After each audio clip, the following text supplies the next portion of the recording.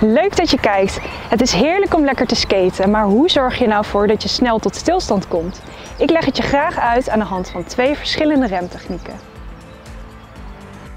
De eerste techniek is de hielstop.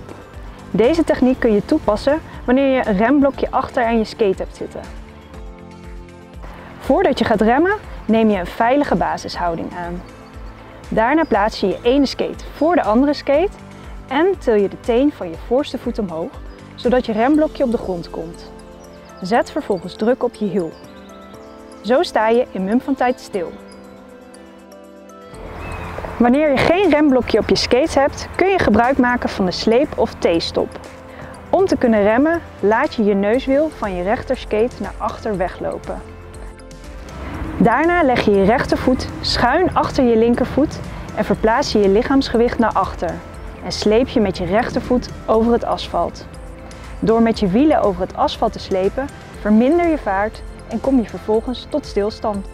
Ik hoop dat je door deze video veel geleerd hebt en op een veilige manier tot stilstand kunt komen. Wil je nou nog meer tips over skaten? Kijk dan ook naar onze andere video's.